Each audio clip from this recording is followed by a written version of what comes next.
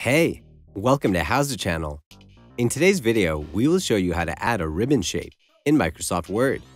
You can add shapes such as boxes, circles, and arrows to your documents, email messages, slideshows, and spreadsheets. To add a shape, click Insert, click Shapes, select a shape, and then click and drag to draw the shape. Open Microsoft Word or the Word document that you need. Go to Insert tab at the top tools bar.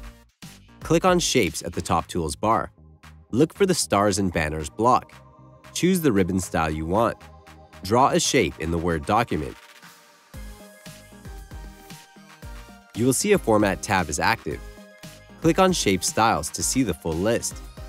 Choose the style you want to apply to the ribbon. Click on Shape Outline and choose the outline color of the ribbon. You can also add a text to the ribbon. Right-click on the ribbon and choose Add text from the list. Add the text that you want. Change the text size in the pop-up tools bar. That's it. Thanks for watching the video. Please like it and let us know if you used any of our tips and tricks. Subscribe to our channel. We upload new tutorials every day. See ya!